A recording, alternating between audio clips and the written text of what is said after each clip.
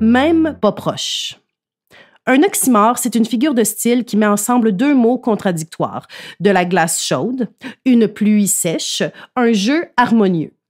Longtemps, on a été trois, on a même été quatre à un moment donné. Harmonieux ne qualifierait pas quelque aspect que ce soit de nos relations frères-sœurs en petite enfance, surtout pas le volet autodivertissement. Je me cachais sous le lit de ma sœur, puis quand elle s'assoyait enfin sur son matelas, je lui pognais les chevilles, tout d'un coup.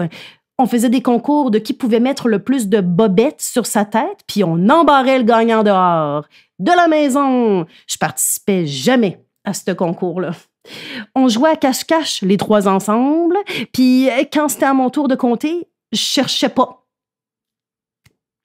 Bon, OK, je vous raconte ça, je suis pas super fière, mais eux, pendant toute une année, toute une année, hein, ils m'ont suivi partout comme deux petits poltergeists en répétant sans arrêt Alpha, Oméga, 3000. C'est super niaiseux comme ça, mais on s'est probablement dit la même affaire du supplice de la goutte d'eau au début, puis ça a fait ses preuves. Là, aujourd'hui, c'est moi qui ai une petite fille à qui je dois inculquer la notion du jeu. Savez-vous ce qu'elle allait me faire? Mettre ma main à plat sur la table, puis avec son petit index pointu, puis son ongle hyper tranchant, peser de toutes ses forces dans les jointures de mes doigts. Elle fait ça en me fixant avec un sourire magnifique.